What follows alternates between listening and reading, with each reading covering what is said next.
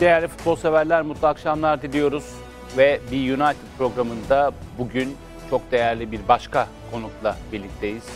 Servet Yardımcı, Futbol Federasyonu Başkan Vekili ve UEFA Genel Kurul üyesi, aynı zamanda da e, yönetim kurulu üyesi. Servet Bey hoş geldiniz. Hoş bulduk. E, Türk futbolunun sorunlarını konuşacağız, dünya futbolunu konuşacağız.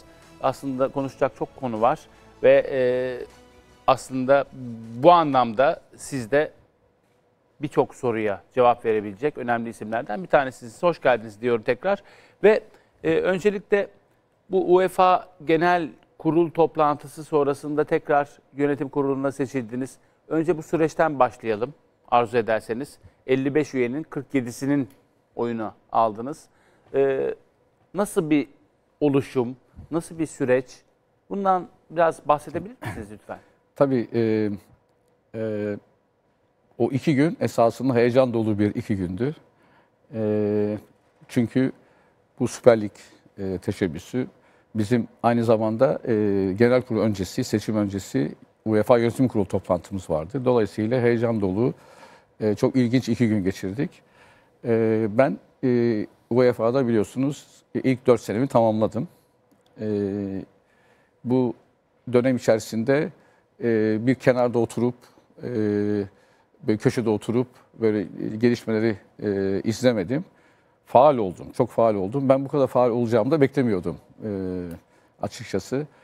E, e, bu süreç içerisinde, 4 sene içerisinde ben tüm, hemen hemen tüm federasyonlarla e, çok yakın ilişki içerisinde oldum. Yani iletiş- iletişimi her zaman ben e, sıcak tuttum. E, güzel dostluklar edindim. E, onların bana işi, bize işi düştüğü zaman, bana işi düştüğü zaman hep yanlarında oldum. Bizim onlardan herhangi bir talebimiz, işimiz düştüğü zaman onlar da bize ellerine geleni yaptılar.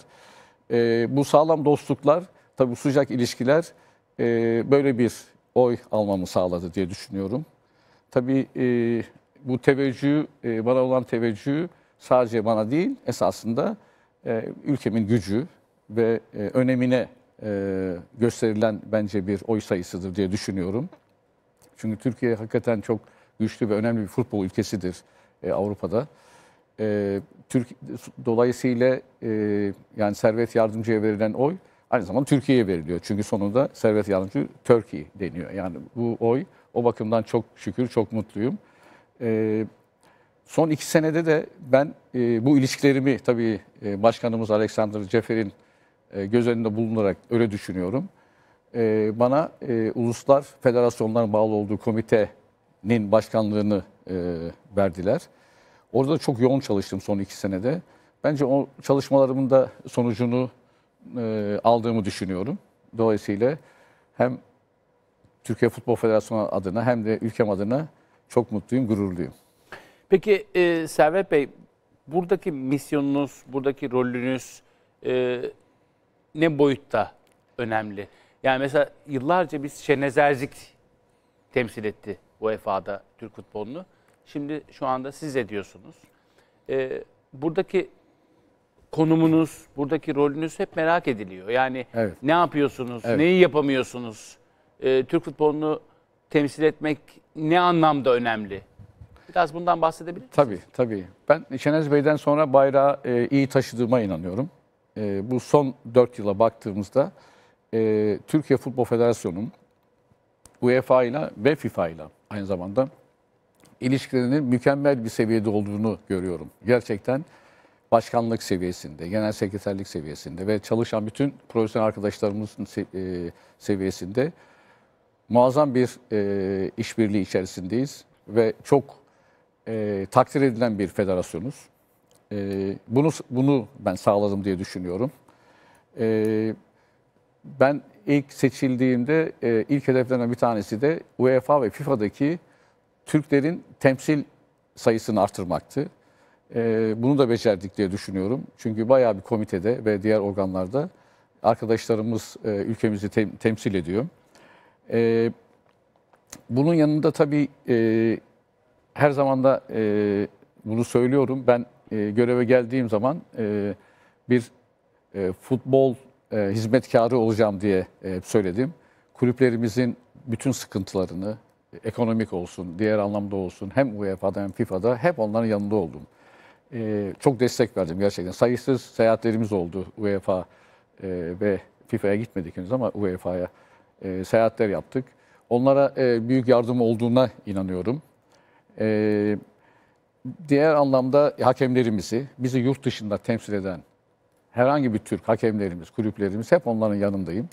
Ee, yanlarında oldum ve bu olmaya da devam edeceğim. Yani dolayısıyla e, temsil sayımızı arttırdık. Bu çok önemliydi. Bir de diğer taraftan e, UEFA etkinliklerinde Türkiye'nin ev sahipliği yapması konusunda e, hedeflerimizden bir tanesi de oydu.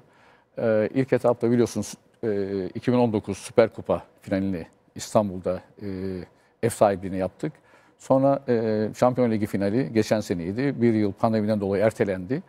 Şampiyon Ligi finali bu iki final yani 2019 e, sezonunu Süper Kupa ile açıyorduk UEFA Avrupa futbolu.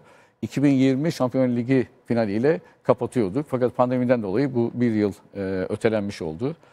E, bunun yanında e, etkinlikler e, ve bu çalışmaları e, devam ettiriyorum. Yani e, bu yolda bu şekilde odaklanmış vaziyetteyim ve bu şekilde devam ettiriyorum. Peki e, efendim şunu soracağım.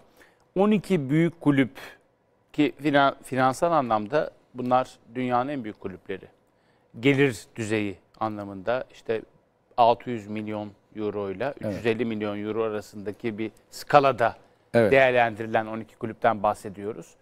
Bunlar bir Süper Lig projesini hayata geçirdiklerini açıkladılar. Fakat hem FIFA'nın hem UEFA'nın hem yerel federasyonların Evet. hem de genel anlamda tüm toplumun tepkisi üzerine bunu rafa kaldırdılar.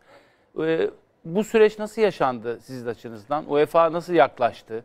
Bu sert tavır e, devam edecek mi bu kulüpler ölçeğinde?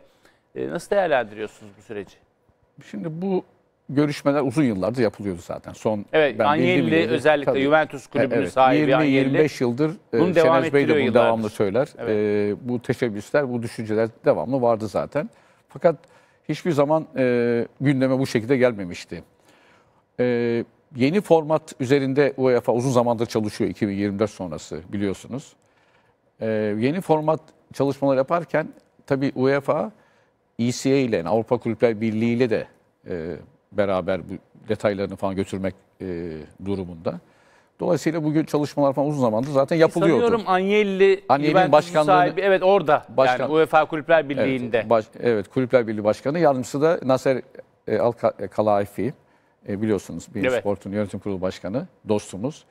E, son zamanlarda herhalde detaylarda bir anlaşmazlıklar çıktı diye e, düşünüyorum. E, beklenmedik bir vaziyette böyle bir 12 kulübün böyle bir teşebbüsü oldu. Esasında e, çok sürpriz bir çıkış oldu bu. Beklenmeyen bir çıkıştı. Fakat Şunu- çok da kısa sürdü. Şunu soracağım araya girip. Bu acaba, yani benim aklıma gelen en önemli soru işaretlerinden bir tanesi bu. Evet. Ee, UEFA'nın yeni Şampiyonlar Ligi formatını açıklamasından hemen önce bunun deklare Tabii, edilmesi acaba daha fazla ekonomik anlamda menfaat talep etmek, daha fazla işte bu büyük kulüplerin e, yeni Şampiyonlar Ligi formatından önce bunu açıklaması işte biz atıyorum Maribor'la oynamak istemiyoruz. Biz işte Lejje Varşova ile Dinamo Zagreb'le oynamak istemiyoruz. Biz daha fazla para talep ediyoruz. Daha rekabetçi bir lig istiyoruz anlamına mı geliyordu? Yoksa e, çok samimi ve ciddi bir e, deklarasyon muydu? Şimdi e, tabii yeni formatla ilgili konuşacağız. Yeni format esasında çok yaratıcı bir format. Formatta bir sıkıntı olduğunu zannetmiyorum ben. Tamamen işin yönetimsel tarafı. Yani e, hem ticari hem de e, diğer konularda yönet- yönetimsel anlamda bence bir e, mütabaka sağlanamadı. Şimdi tabii burada e, bu kulüplerin böyle bir girişimde bulunması e, ve arkasında tabii biliyorsun finansal güçlerinde olması. Yani bu şekilde hesapsız plansız yani tansiyonu ölçmeden ortaya çıkmaları da çok ilginç. Yani gerçekten çok il- ilginç ve çok büyük bir tepki e, ile karşılaşıldı. E, Avrupa futbolu hiç olmadığı kadar büyük bir dayanışma içerisinde bu tepkiyi gösterdi biliyorsunuz. Yani Esas zaten futbolun sahibi taraftarlar, teknik direktörler, futbolcular. Bir de federasyonlar tabii. Yani e, bütün bu paydaşlardan gelen bu tepkiler, bu dayanışma örneği hakikaten çok önemli bir güç e, gösterisi oldu. Ki bu işin öncüsü olan Juventus kulübünün taraftarları arasında %64'ü bile buna tepki Tabii, göstermiş. tabii, tabii. Çünkü yani dün e, futbol- İtalyan gazetesinde Tabii, tabii, Sport'ta gördüm. %64 Juventus taraftarları Tabii, tabii. karşı çıkmış. Tabii futbolun sahipleri taraftarlar çünkü. Yani her zaman kulüp başkanları hiçbir zaman olamaz. Onlar geçici çünkü o insanlar. Sonuçta şunu da söylemek istiyorum. Pazar günü bu haber çıktığında bizim Kulüpler Birliğimiz o gece bir e, deklarasyon yayınladılar. Onlara hakikaten buradan teşekkür ediyorum. Zamanlaması ve e, çok anlamlı bir e, destek oldu. Yanında biz Türkiye Futbol Federasyonu olarak da biz de UEFA'nın yanında olacağımızı ve bu girişime karşı e, olduğumuzu biz de e, resmi olarak e, deklar ettik. Ve Kulüpler Birliğimizin duruşu da çok önemliydi. Tekrardan onlara teşekkür ediyorum. Dolayısıyla e, çok kısa sürdü ve şu anda rafa kalktı diyelim. E, kısa süre e, veyahut da tekrardan gündeme gelir mi onu bilemeyiz tabii. Ama e, verilen bir hasar var tabii. Bir zarar verilmiştir muhakkak. Ve şimdilik rafa kalktı. Yeni format üzerinde antat kalındı. Bir yönetim kurulunda biz yeni formatı onayladık. Hayırlısıyla bu şekilde yolumuza devam edeceğiz. Peki bu yeni formattan biraz e, bahsedelim. Yeni format e, yürürlüğe girecek sanıyorum Evet. önümüzdeki yıldan itibaren. 2024 sonrası. 2024 sonrası yürürlüğe girecek. E, genel anlamda tabii Şampiyonlar Ligi gelirleri çok önemli Tabii. kulüpler açısından. E, UEFA Avrupa Ligi, Şampiyonlar Ligi bu anlamda yeni düzenlemeler ne boyutta yapılacak Servet Bey? E, kulüpler neyi talep ediyor? Nelerden bu anlamda rahatsızsınız? Neler düzenlemeli? Ondan bahsedelim. Şimdi e, yeni formatla ilgili konuşursak daha iyi olur bence. Yeni format e, bence e, çok yaratıcı bir format. Ne anlamda? Ya çünkü eskiden eskiden şu andaki mevcut durumda 8 gruplu 4'er, ta- 4'er takımlı 8 32 gruptan takım, evet. 32 takımdan oluşuyordu. Gruplar halinde oluşuyordu ve birinci torba, ikinci torba, üçüncü ve dördüncü torbadan kulüpler gruplarda oluşuyordu. Şimdi yeni formatta tek lig olacak. 36 takım ve e, takım sayısı 4 takımda artarak 36'ya çıkacak. Peki bu sağlıklı mı? Mesela Florentino Perez diyor ki e, çeyrek finalden önceki müsabakaları kimse seyretmiyor. Kimsenin ilgisini çekmiyor. Çeyrek finalden sonra Şampiyonlar Ligi seyrediliyor şeklinde bir yeni yeni formatta ye- yeni yattı. formatta bu ortadan kalkıyor. Yeni eski formatta zaten o yani tabiri caizse ölü maçlar deniyordu. Yani birinciler, ikinciler belli oluyordu. Üçüncü torba ve dördüncü torba takımları son maçlar formalite maçı oluyordu. Dolayısıyla o maçlar ortadan kalkmış olacak. Yeni formatta e, bütün takımlar 36 takım eşit e, e, seviyedeki diğer takımlarla da e, maç oynama imkanına sahip olacaklar. 5 tak 10 maç olacak biliyorsun. 5'i içeride, 5'i dışarıda. E, ve her takım kendi gücündeki diğer takımlarla maç yapma imkanına sahip olacak. Daha çekişmeli olacak. İlk 8 e, otomatikmen ilk 16'nın ilk 8'ini oluşturacak. Sonra 9. ile 24. takımlar arasında eleme başları, playofflar yapılarak e, ikinci 8 e, e, 16'yı oluşturacak. Bence e, e, son anlara kadar bu heyecan ve rekabet ortamı devam edecek diye düşünüyorum. E, daha fazla maç olacak bir şekilde. Yani daha fazla puan toplanacak. Daha fazla gelir, ekonomik anlamda ekonomik anlamda daha fazla gelir elde edilecek. Dolayısıyla e, bunun adına Swiss sistem diyorlar. Swiss sistem yani eşit denk takımların birbirleriyle maç yapma imkanını e, sahip olduğu bir ortam. 36 takım teknik daha net, daha e, belirgin bir e, format olacak. Ben e, çok faydalı olacağına inanıyorum e, ve heyecanla da bekliyoruz. Peki e, Türk futbolunun gelmiş olduğu nokta itibariyle belki milli takımlarda şu anda başarılıyız. Avrupa Şampiyonası'nda oynayacağız. İyi bir jenerasyon yakaladık ama kulüpler bazında genel anlamda son yıllarda e, Beşiktaş'ın Şampiyonlar Ligi'nde gruptan çıkmasından sonraki sürecin ardından e, çok başarısız sonuçlar alıyoruz ve Şampiyonlar Ligi'ne direkt gitme konusunda e, maalesef sınıfta kaldık. Evet. E, 13. sıraya geriledik. E, ve arkamızdan gelen rakipler Evet. bize yaklaştılar. Hatta bizi geçtiler.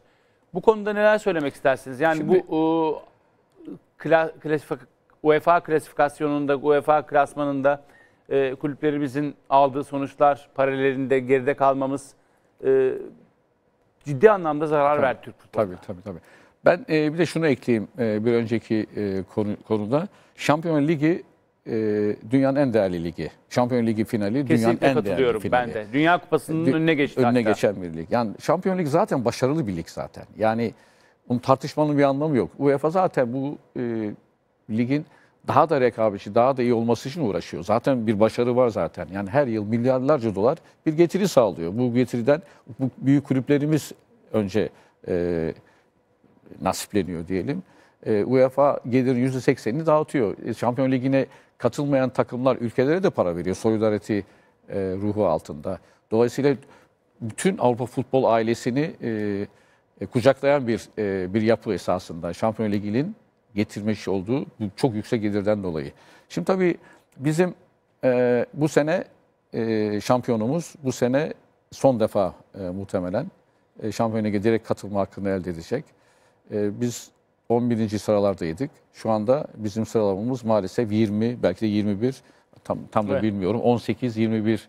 sıradayız muhtemelen. Çok acı. Çok acı.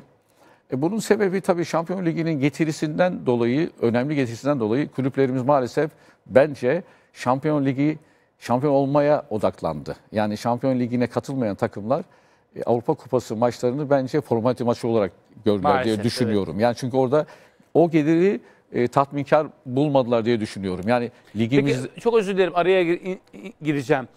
Ee, Avrupa Ligi'nin cazibesini arttırabilmek için UEFA'da e, herhangi bir söyleşi yaptınız mı? Yani çünkü hakikaten Avrupa Ligi'nin cazibesi bence düşük. evet Hem ekonomik getirisi düşük. anlamda. Evet, ekonomik anlamda. Ama şu anda ekonomik anlamda da daha ilerlemeler yani yayın haklarından dolayı her yayın hakkı ihalelerinde daha yüksek rakamlar elde ediliyor.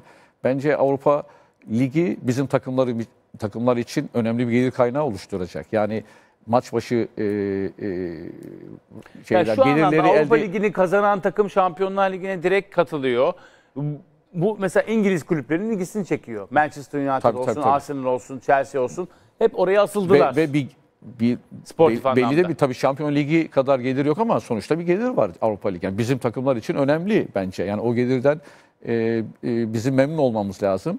Dolayısıyla kendi ligimizi önemsedik. E, şampiyon olmak için tabii. Bizim ligimizde de önemli bir geliri var. E, önemli gelir var. Evet. E, bu da tabii bizim e, e, takımlarımız maalesef Avrupa maçlarını formalite maçı ve B takımıyla çıkmaya başladı. Son iki senedir hakikaten çok kötü performansımız var. Yani yeni yıla baş giremiyoruz. Yani ilk e, grup maçlarından sonra eleniyoruz maalesef. Bu hem kulüplerimizin puan sıralaması hem de e, ülkemizin puan sıralamasını çok aşağılara götürdü maalesef.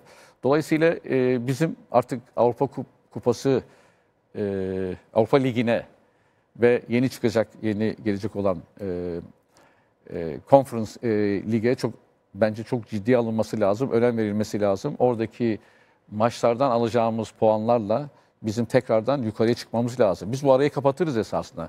Yani bu arayı kapama e, imkansız gibi bir şey olamaz. Ama yeter ki biz Avrupa Ligi'ni ve e, Konferans Ligi'ni bundan sonra ciddi alalım ve her maçı bir puan maçı olarak ve ekonomik olarak da güç olarak görelim.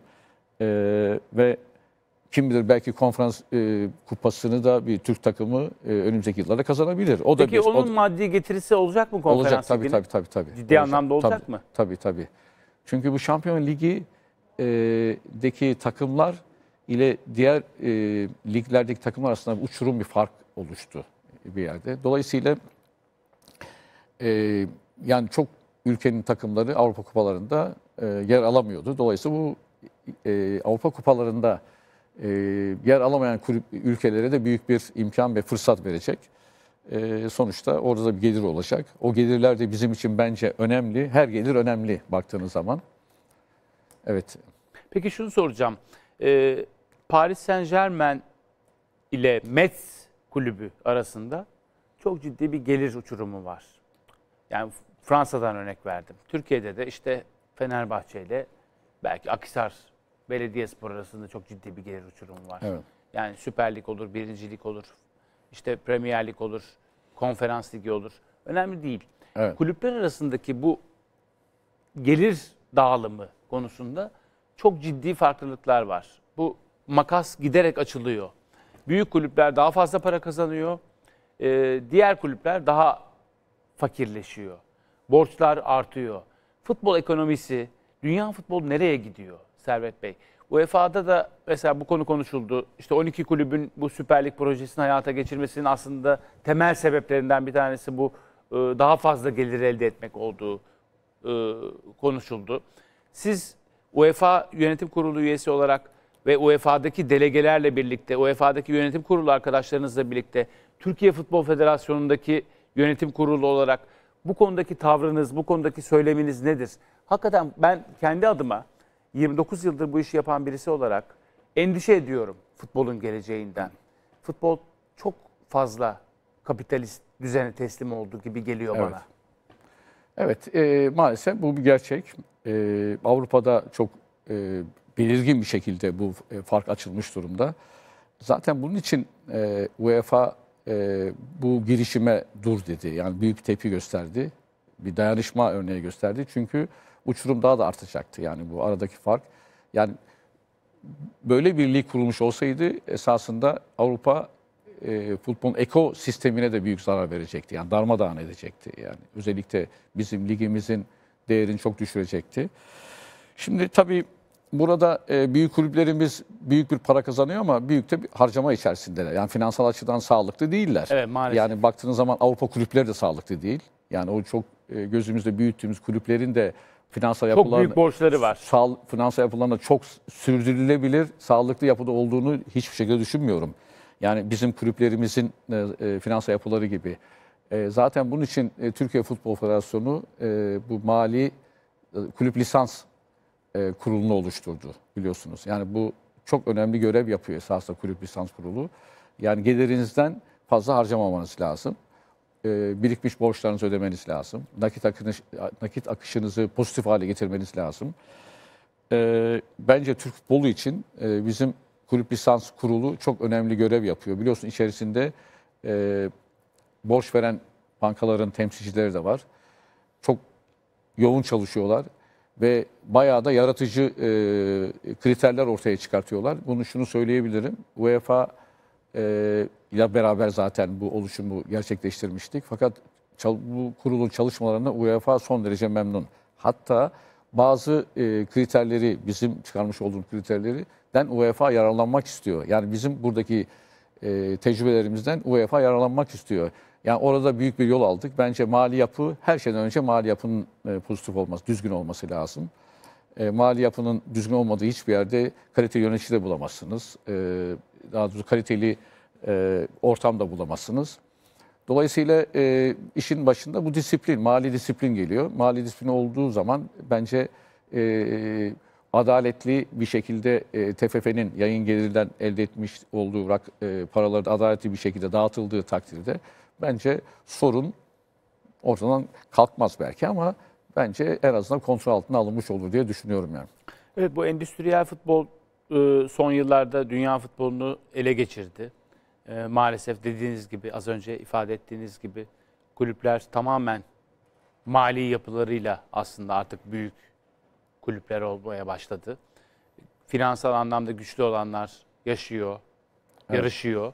Fakat diğerleri e, ne yazık ki bu konuda geride kalıyor. Ve açıkçası ben kendi adıma söyleyeyim. Ben Steaua Bükreş'in veya Kızıl Yıldız'ın veya Dinamo Kiev'in Şampiyon Kulüpler Kupası'nda final oynadığı süreçleri özledim. Özlüyorum. Evet. E, paranın her şey olmadığı, futbolun, rekabetin, yarışmacılığın Evet. öne çıktığı süreci açıkçası özledim. Bu konuda sizin endişeleriniz var mı? Benimle paylaşıyor musunuz? Genel anlamda e, futbolda iyi oynayan takımların veya işte yetenekli oyuncuların e, büyük kulüpler tarafından parayı basıp amiyane tabirle transfer olması yani bu nereye kadar gidecek bu anlamda? Bunda bir kısıtlama veya bir e, engelleme söz konusu olabilir mi? Ee, Endüstriyel futbol konusunda. endüstriyel alımı zaten pandemi büyük bir darbe vurmuş durumda. Zaten pandemi e, doğal olarak e, kulüplerimizin yani hem içeride hem yurt dışı özellikle yurt dışı kulüplerin gelirlerine büyük bir darbe vurmuş durumda. Onlar da bence e, harıları düşünüyorlardır. Yani e, bu gidişat nereye e, doğru gidiyor? E, bu oluşumun da bence diğer motivasyonu da oydu bence. Yani çünkü nakit akışı veyahut da finansal açıdan çok kısa vadede çok zorluklar içerisinde olan o kulüpler yani büyük kulüpler bu parayı tercih ettiler. Yani bu parayı tercih edip kendilerini düzlüğe çıkarmayı e, tercih ettiler. Fakat şeyi düşünmediler. Genel Avrupa e, futbolunun genel yapısını düşünmediler. E, dolayısıyla pandeminin zararı oldu. Bence bu mali işte fair play, disiplin kuralları harfiyen uygulanmalı. Ve yani eski günlere döner miyiz? Ama maalesef e, bu büyük kulüplerimiz maalesef çok güçlendi. Sahipleri güçlü. Yani sahipleri sonuçta devlet var sahip bazı bazı devletler bu kulüplerin sahibi. Eskiden o kulüplerin değeri milyondu sonra milyar oldu. Şimdi trilyon olacak. Yani hakikaten söylediğiniz gibi büyük tehlikeli bir yerlere doğru gitmeye başladı. Yani o değerler e, eskisi o doğal o mütevazı değerler ortadan kalkmış oldu.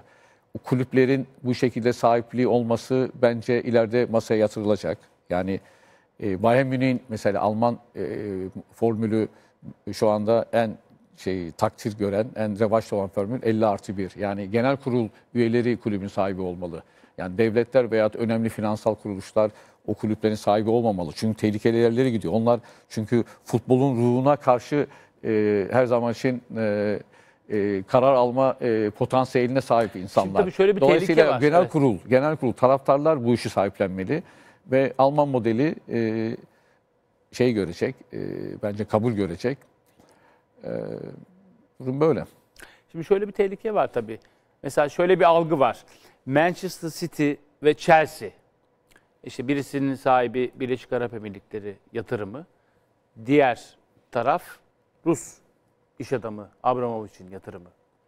Fakat Manchester United, Liverpool ve Arsenal gibi kulüpler Amerikalı yatırımcılar tarafından satın alındı. Ve bu yatırımcılar ciddi anlamda kar amacı güdüyorlar.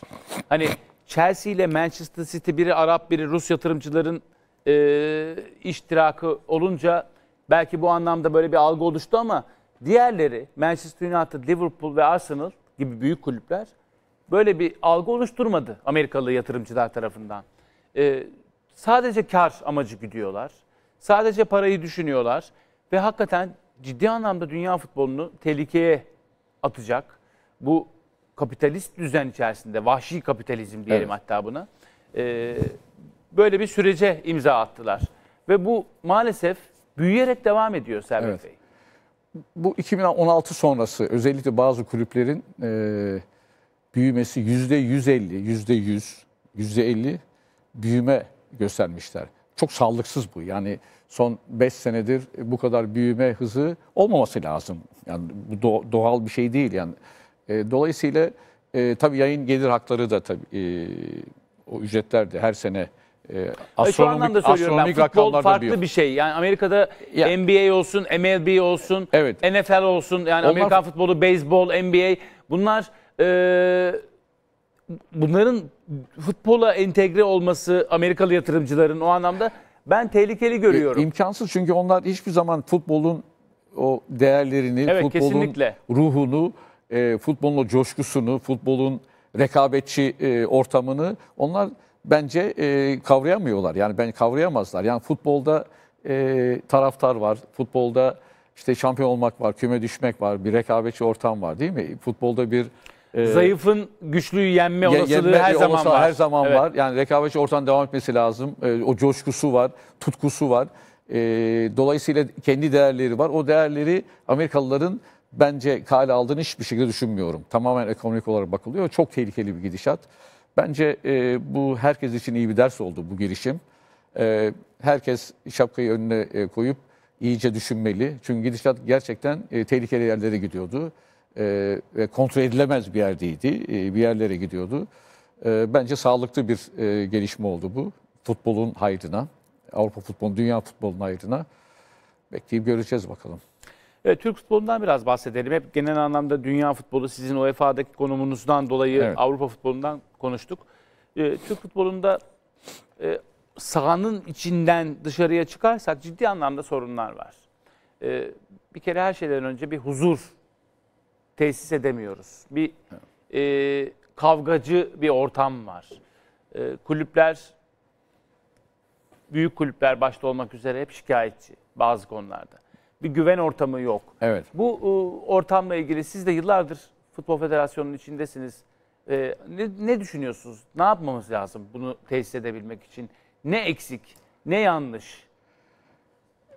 Şimdi e, özellikle pandemi sürecinde ben devamlı Nihat Başkanımıza da söylüyorum. Yani bizim bu süreci... Ki Nihat Bey de pozitif Tabii, bir insan. Siz de pozitif. öylesiniz. Ben- aynen. Ben de deva- kulüplerimizle beraber biz dayanışma içerisinde olursak, hep beraber olursak bu işleri, bu işlerin altında bu sıkıntıları çözebileceğimize hep inan inanıyorum. Dolayısıyla e, orada bizim e, içeride e, bir kere güven ortamı çok önemli. Bir de kulüplerimizin benim hakkım yenecek.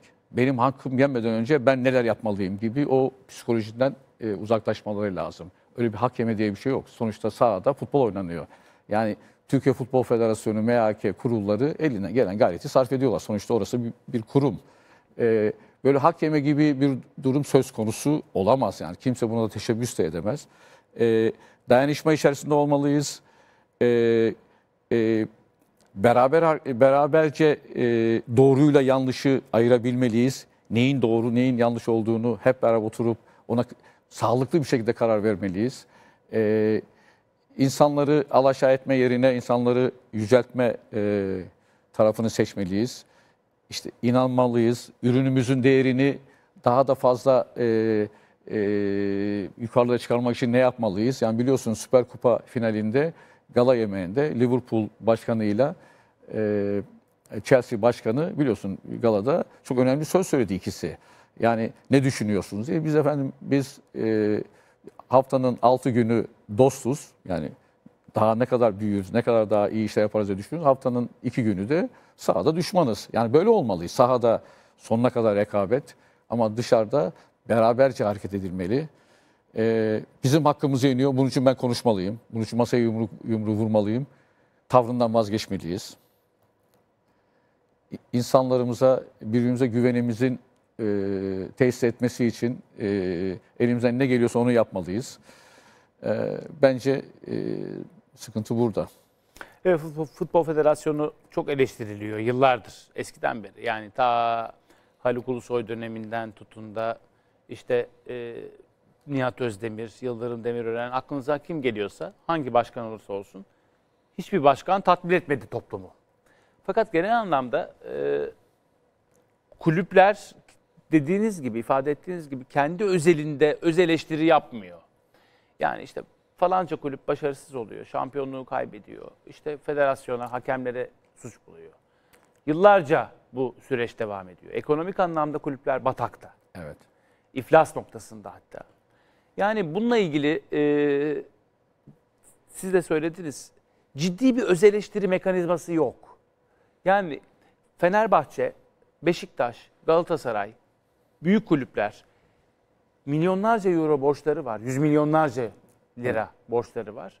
Ve başarısız oldukları zaman faturayı federasyona kesiyorlar. Bununla ilgili ne söylemek Yani işte istersiniz? onu söylemek istiyorum. Evet. Nerede doğruyu yapıyor, nerede yanlışı yapıyoruz onun ayrımını ya- yapmalı kulüplerimiz. Yani bizler de yapmalıyız. Zaten doğruyla yanlışı biz ayrı, ayrımını yapabilecek duruma geldikten sonra zaten işin büyük bölümünü çözmüş oluyoruz.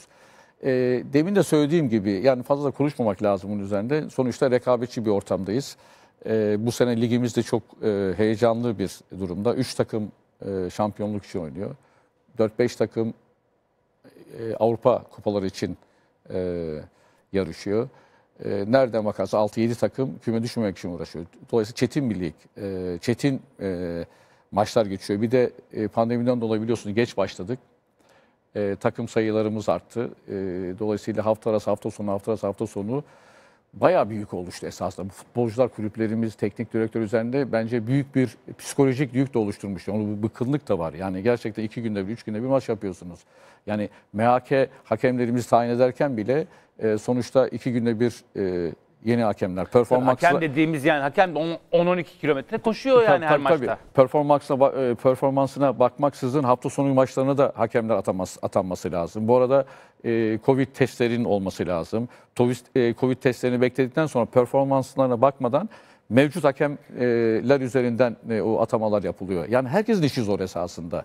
Tabii burada bu rekabetin bu kadar kızışmasından do- dolayı e, herkes bir şekilde e, nasıl diyelim e, bu işten e, e, şöyle diyelim bu işten herkes bir şekilde yara al- alıyor. Biz de nasibimizi alıyoruz bu işten Türkiye Futbol Federasyonu olarak.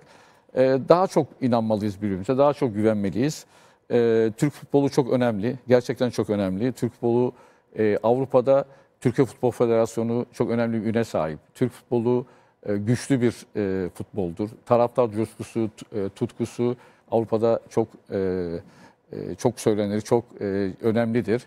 Dolayısıyla bu tutkuyu, bu coşkuyu, bu güzellikleri devam ettirmemiz lazım. Ya Evet, hakkımız anlamda- yenecek diye Tabii. e, bağırıp çağırmanın e, bir e, çözüm getirmeyeceğini bilmemiz lazım. Çünkü kimsenin hakkı yenmiyor esasında.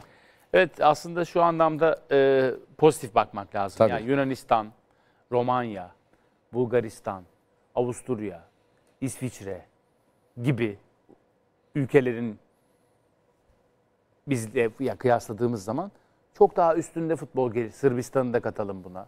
Veya işte eski Yugoslavya'dan dağılan işte Hırvatistan olsun, Makedonya olsun falan. Bütün bu ülkelerle, Balkan ülkeleriyle veya yakın coğrafyadaki ülkelerle kıyasladığımız zaman çok daha güçlü. Belçika'yı bile katıyorum ben. Evet. Hollanda'yı bile katıyorum.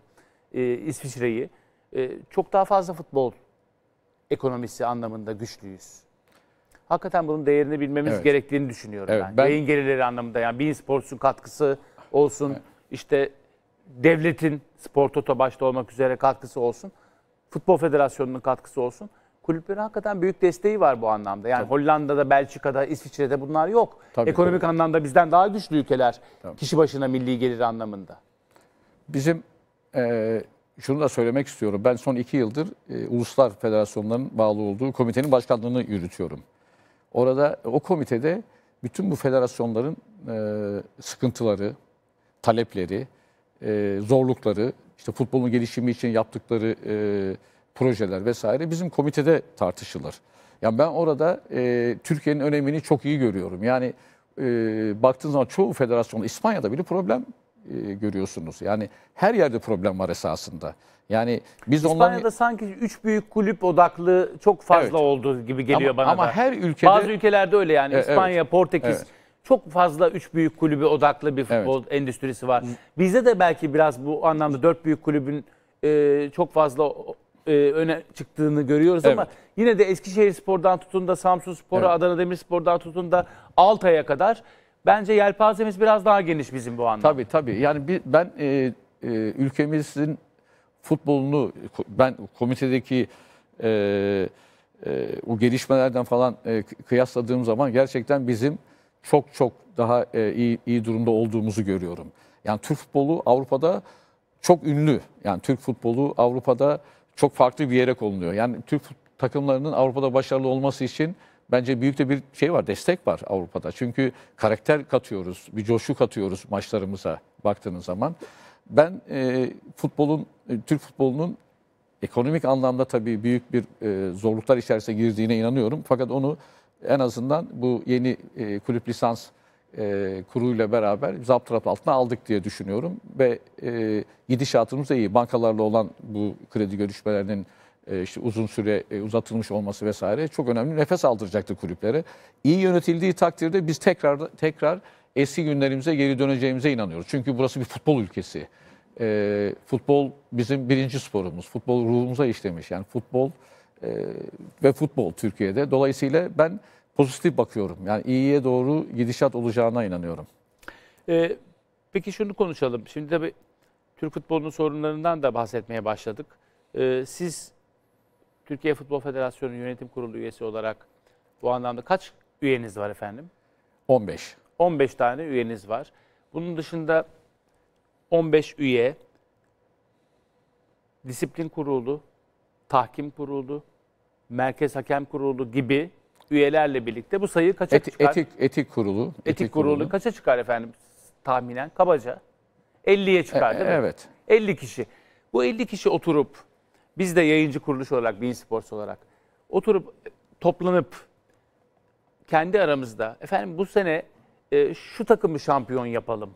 Efendim bu takımın şampiyon olmasına karar verelim gibi bir toplantı, bir söyleşi falan oluyor mu? Ya- Maalesef toplumda böyle bir algı var. Bu sene şunu yapacaklar. Bu sene bunu yapmayacaklar gibi saçma sapan e, akla yatkın olmayan fanatikçe, mantıksızca söylemler maalesef toplumda ve sosyal medyada dolaşıyor. Yani siz kendi aranızda 15 yönetim kurulu üyesi toplanıp masanın başında efendim bu sene e, biz şu takımı şampiyon yapacağız falan diye konuşuyor musunuz? Yönetim kurullarında esasında e, hiçbir şekilde konuşulmaz biliyor musun? Sadece işte ikili görüş, üçlü görüşmelerde işte maçlarla ilgili yorumlar yapılır. Yönetim kurulunda hiçbir şekilde maçların e, durumu masaya yatırılmaz. Hiçbir şekilde konuşulmaz. Zaten orada görev alan insanların taraftar olması da imkansız zaten. Zaten olmaması lazım. Yani hem orada görev alacaksın hem de iyi bir taraftar olmanız o mümkün değil. Yani insan doğasına aykırı gerçekten. Yani normalde olmaması lazım. Evet bu bilgi kirliliği, bu çok çirkin bir şey, e, ya- e, yakıştırma diyelim. Böyle bir- Maalesef. ya- Maalesef. Yani böyle bir şeyin olması söz konusu, ben yıllardır federasyondayım, söz konusu olamaz yani. İmkan ihtimal yok yani ve bu çok çabuk da ortaya çıkar. Yani somut olarak da ortaya çıkar. Hep e, e, spekülatif anlamda bu söylemler. İşte maalesef bir sosyal e, medya e, kirliliği de var. Orada herkes her şeyi konuşabiliyor, söylüyor ama esasında baktığın zaman ürüne, futbola büyük zarar veriyoruz. Bundan sıyrılmamız lazım. Daha çok dayanışma içerisinde olur, olur- olursa yöneticiler, kulüpler, federasyon e, ve futbolun paydaşları bence doğruyu e, ya daha çabuk ulaşırız diye düşünüyorum. Daha çok sık sık görüşürsek güven ortamını daha çabuk tesis ederiz diye düşünüyorum. Bunlar yani, Yani böyle bir akıl İyi olmalıyız, iyi düşünmeliyiz. Yani bütün topluma ben çok faydalı bir program olduğunu düşünüyorum bu programın. Ee, Böyle bir akıl tutulması, böyle bir mantıksızlık hakikaten çok ciddi anlamda sorgulanmalı. Yani biz, ben burada oturuyorum bu masada, bu stüdyoda, Bein Sports. Sizler federasyonda 15 yönetim kurulu üyesi olarak başta Nihat Özdemir olmak üzere oturuyorsunuz. Hakemler Serdar Tatlı ve bütün hakemler oturuyor. Hepimiz bir anda oturuyoruz böyle 50 kişi, 100 kişi ve diyoruz ki şu takımı şampiyon yapacağız bu sene. ya böyle bir saçmalık olabilir mi arkadaşlar ya? Yani böyle bir saçmalık olabilir mi? Hakikaten çok saçma. Yani imkan- anlaşılır gibi değil değil mi? Yani söylediğim gibi biz yönetim kurulu toplantılarda biz mesela şunu maçlarda- örnek vereceğim. Sayın maçlarda hiç- Cumhurbaşkanımız Rizeli. Evet. Rize Spor'a da destek veriyor, seviyor, beğeniyor, e, takip ediyor. Siz Rizelisiniz. Evet. Ya eğer öyle bir şey olsa Rize Spor küme düşmez. Asansör takımı oldu Rize Spor. Bir çıkıyor, bir düşüyor, bir çıkıyor, bir düşüyor. Benim Yanlış dönem- mıyım? Benim dönemde iki kere küme düştü evet Rize iki kere Spor. küme düştü. Ha, Cumhurbaşkanımız tabii e, futbol sevdalısı, e, Rizeli. E, Cumhurbaşkanımız tek düşüncesi Rizelilerin mutlu olmasını ister. Yani Tabii. çünkü futbol, Hayır yani böyle bir şey kesinlikle özellikle Karadeniz insanında bence Karadeniz insanının şöyle bir özelliği vardı. Trabzonlu, Rizeli olsun, nereli olursa olsun. e, hak yemez. Tabii, tabii, tabii. Muhakkak, muhakkak. Kesinlikle. Ya Cumhurbaşkanımız şöyle bakıyordur. Yani e, futbol bir umuttur. İnsanlara bir umut aşılıyor. Yani umut içerisinde bekliyorsunuz. Evet, kesinlikle. Mutlu oluyorsunuz şehrinizin takımı e, başarılı olduğu zaman. Dolayısıyla Cumhurbaşkanımız da mutlu oluyor. İnsanların mutlu olduğunu gördükten sonra. E, hakikaten futbolun e, futbol çok önemli bir e, dünyanın bir numara sporu zaten. Umut vaat ediyor. Yani e, umutsuz insanlara insanlar umut peşinde koşuyor. Yani sonuçta e, takımlarının başarılı olması o şehri, o semti e, mutlu ediyor. Dolayısıyla bu doğallıklar güzel esasında. Yoksa spekülatif e, gelişmeler, işte yalanlar, dolanlar e, zarar veriyor sadece. Futbola zarar veriyor. Hepimize zarar veriyor. E, ve yoruluyoruz yani. İnsanları yorgun düşürüyor ister istemez. Ta- Üzüyor bir de insanları. Maalesef maalesef bu iklimi düzeltmemiz lazım ama bu iklimi Evet. düzeltmek için önce toplum talep edecek Tabii, bazı şeyleri. tabii. Toplum bazı şeyleri çözecek. Az önce söylediğim gibi yani hani bir adaletsizlik, bir haksızlık olacaksa işte Ri- Rize Spor küme düşmezdi. Evet, o kadar. Şimdi e, Yani her toplum, şeyden önce. toplum dayanışma içerisinde olmaz. Dayanışma ruhunu göstermeli. Eğer 55 federasyon e, kongrede UEFA'da. o dayanışmayı göstermeseydi, İngiliz taraftarlar o e, o tepkiyi göstermeseydi o proje başarılı olacaktır belki de.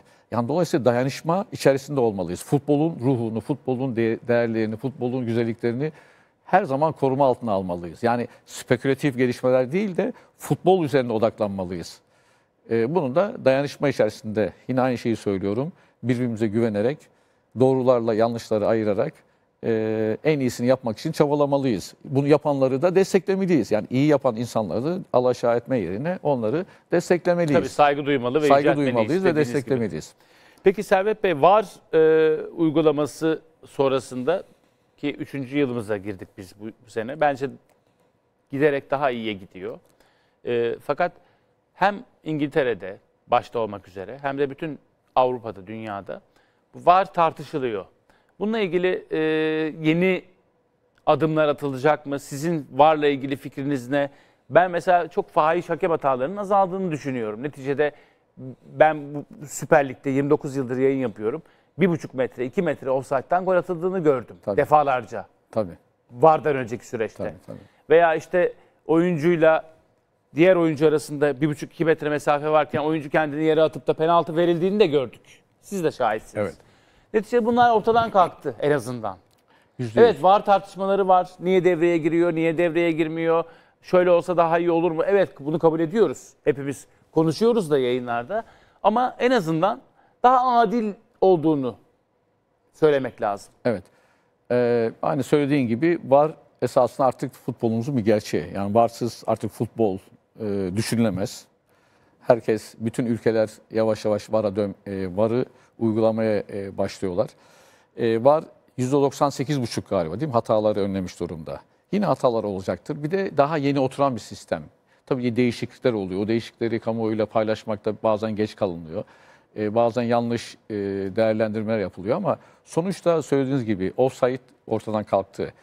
E, sadece artık hakem kararı konuşuluyor. Verilen bir karar hakem kararı yani borderline denen bir e, pozisyon yani sınırda olan pozisyon sana göre bana göre pozisyonları tartışıyoruz sadece sadece. Ama esasında o verilen karar hakemin kararı. Dolayısıyla e, maçın e, tek kontrolü hakemde olduğu için o hakemin kararına biz saygı göstermeliyiz. Bu bir karardır. Yani borderline tamam sana göre bana göre ama sonuçta o insan da orada bir karar vermeli. O kararları tartışıyoruz. Çok önemli hatalar artık e, ve yanlış kararlar artık olmuyor. Dolayısıyla çok sağlıklı buluyorum ben VAR'ı. E, artık VAR'sız da yapamayız. E, daha da gelişecektir, daha da oturacaktır. E, ve ben gidişatın e, o yönde iyi olduğunu düşünüyorum. VAR'la Tabii beraber. santimetrelerle İngiltere'de de çok konuşuluyor bu.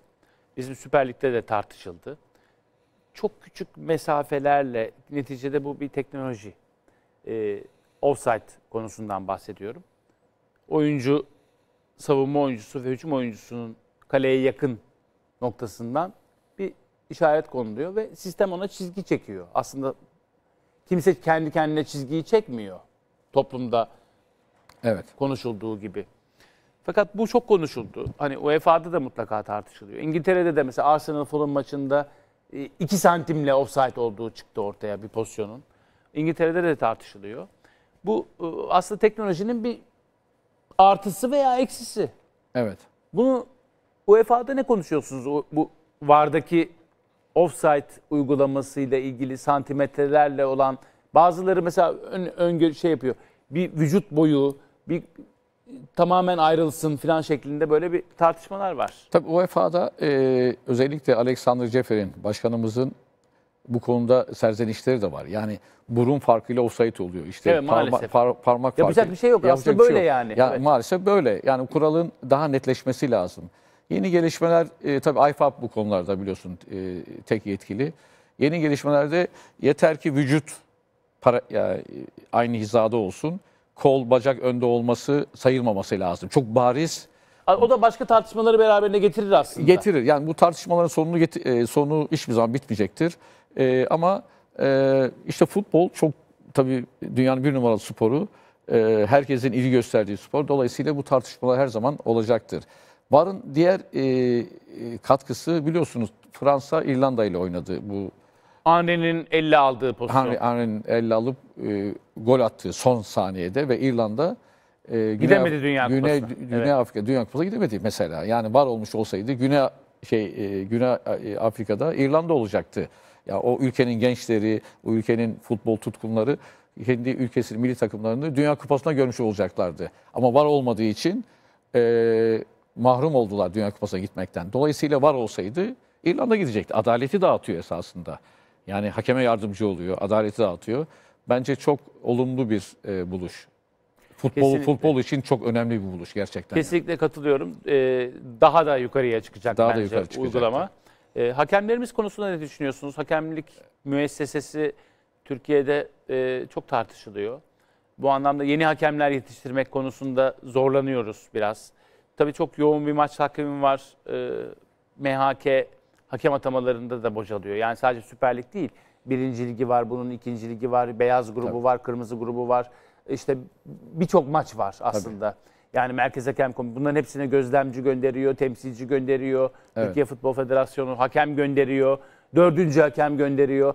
Yani öyle Süper Lig özelinde 20 tam 21 tane takım var şu anda Süper Lig'de ama e, hakikaten çok yoğun bir takvim var ve çok zor bir süreçten bahsediyoruz. E, Ben şahsen hakemlerimiz performansına ben şahsen çok memnunum. Yani e, bu ortamda, bu yoğun süreçte, bu pandemi ortamında, bu kadar yoğun maç trafiğinde bence çok iyi gidiyoruz. E, tabii kulüplerimiz e, serzenişte bulunuyorlar ama bana göre çok iyi gidiyoruz. Tabii hakem, yeni hakemlerimizin yeni yüzlerin gelmesi lazım. Zaten Serdar Tatlı başkan gelir gelmez yeni yüzleri tanıştırır zaten sistemle. Yani ilk başlarda onu yapmalıydı. Şu anda tabii biraz zor tabii çünkü riskli, önemli maçlar var. Şimdi daha tecrübeli hakemlerin görev alması lazım. Fakat ilk başta e, Serdar Başkan gençlerimizi e, cesaret göstererek e, futbola, e, Süper Lig maçlarına e, tayin ettirerek tanıştırmış oldu. E, tabii aşağıdan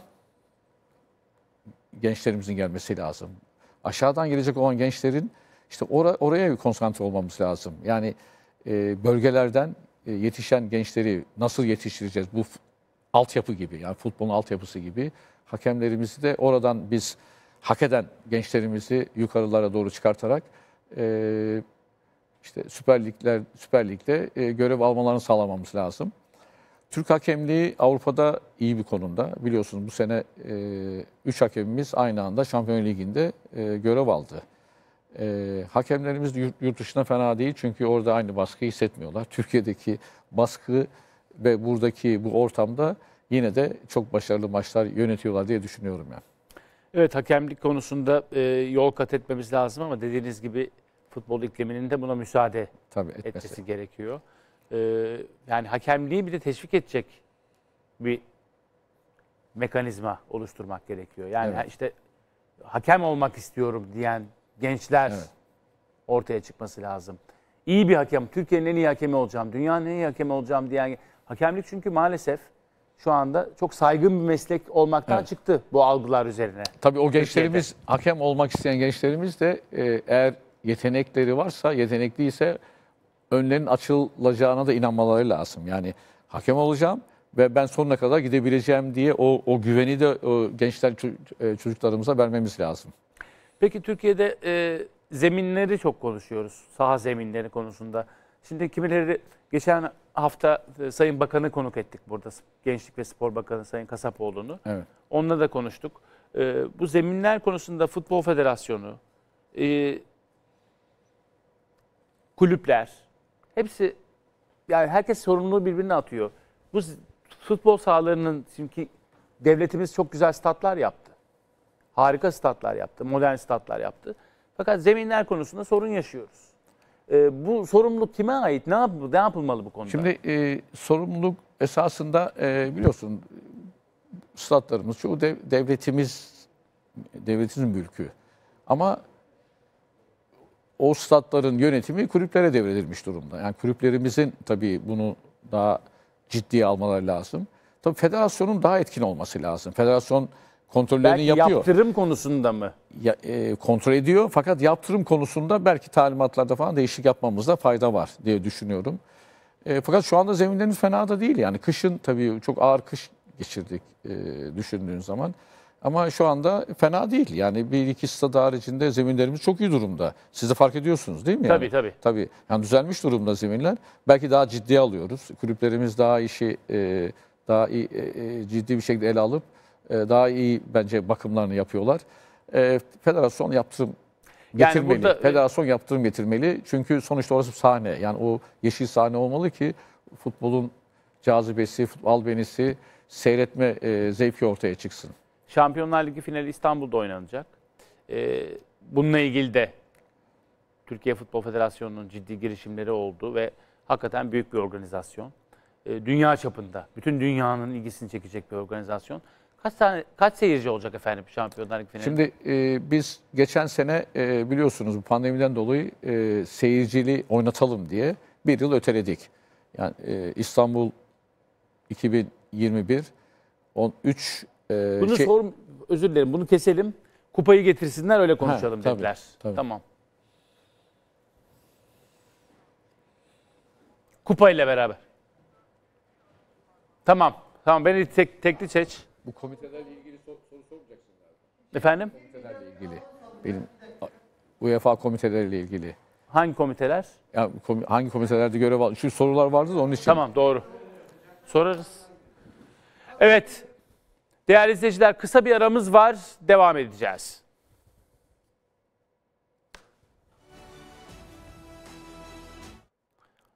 Değerli izleyiciler Değerli izleyiciler şimdi kısa bir ara vereceğiz. Ardından Servet Yardımcı ile olan sohbetimize devam edeceğiz.